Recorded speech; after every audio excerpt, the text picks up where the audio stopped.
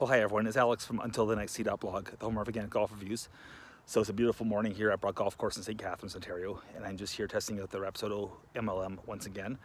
Uh, yesterday I had a great session with it. Uh, the difference was I was at a different range and their golf balls were white. So it got me thinking, maybe the yellow golf balls at this range aren't being picked up or the camera at least with the iPhone is losing the flight or uh, you know mid-flight.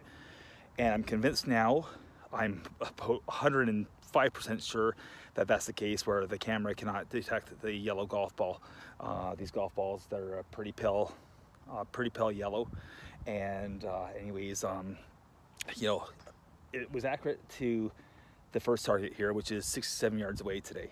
Uh, I was putting it 68, 71 in that ballpark, and that number was right on the money, but that was also a shot that was less than 100 yards already when I went to the pitching wedge, which is what got me, which is was the club that really got me thinking, um, is this thing giving me false readings? Is it accurate? Um, it started giving me some awful, awful readings. Uh, flushed pitching wedges, which are, you know, 130, 135, as showed yesterday. Uh, I'm getting 98 yards out of it. Uh, 112, I think. I think I had a 117 in there, and there is no way that that ball was hit 117, 112, or 98 yards. Uh, then I went to driver just for heck of it, and it was more of the same. Um, you know, the way that I'm hitting the golf ball right now on the course, you know, I'm I'm carrying it, or I'm yeah, it was all carry actually into the wind, 254. You know, into a two club wind, two and a half club wind.